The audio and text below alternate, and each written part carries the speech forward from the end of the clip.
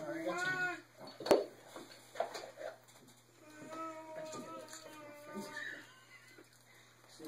Okay. You know what the card is? You didn't forget, did you? I'm sorry it's taking so long. Do you want to cut them, or you're good, or it's okay? Sure.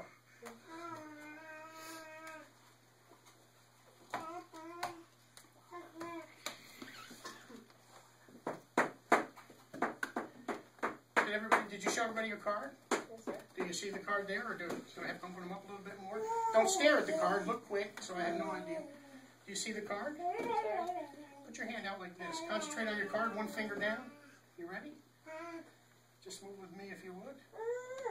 Concentrate on the card. Whoa, let's go back here.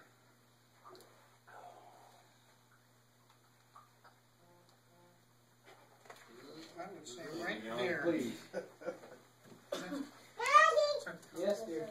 Hey,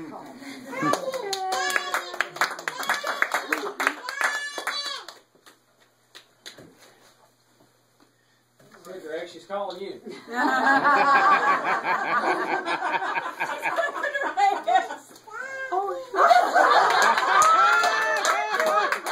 Oh my God, that's two of them. Greg, is there something we need to know? Oh, y'all, a lot of money.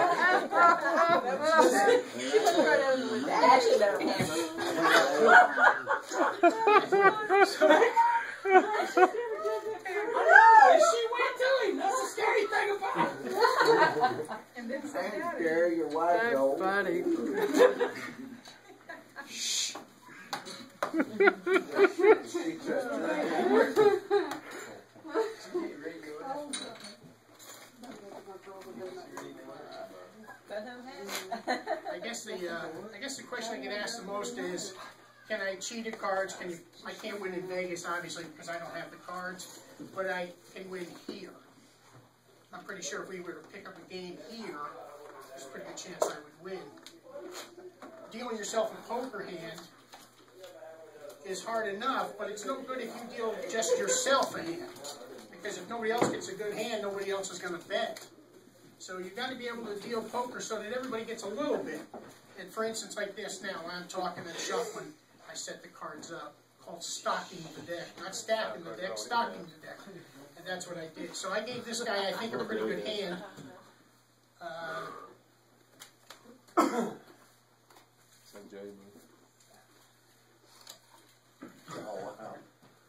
so that's a pretty good hand he would bet on. That's a pretty good hand I think he would bet on.